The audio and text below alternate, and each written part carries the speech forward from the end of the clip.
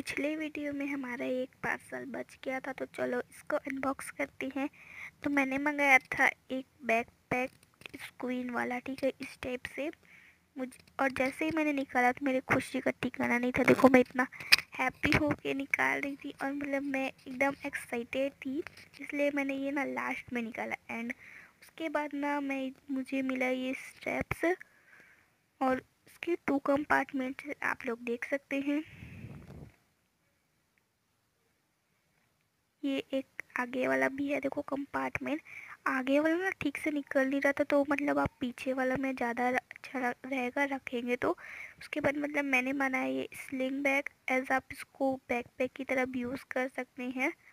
And अगर आपको video अच्छी लगी तो मेरी वीडियो को लाइक करना। बाय